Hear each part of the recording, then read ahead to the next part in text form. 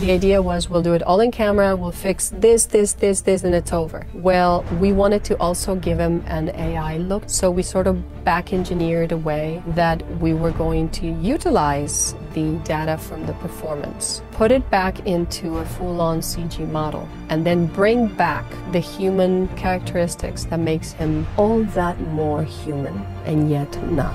There's an expression that we use in visual effects as well as other you know, robotics and things called the uncanny valley. And this is when people trying to create human beings as CG characters or robots. And the closer you get to reality, the harder it is to make them look believable. But what we're trying to do in many ways is we're approaching the uncanny valley from the other side. So we're starting with a real human in Paul Bettany, and we're adding CG to him. If you look at his eyes, if you look at his lips, if you look at his face, you feel the human feelings that we do when we emote, and yet there is that moment where you go, oh, he could be full on AI. Is he?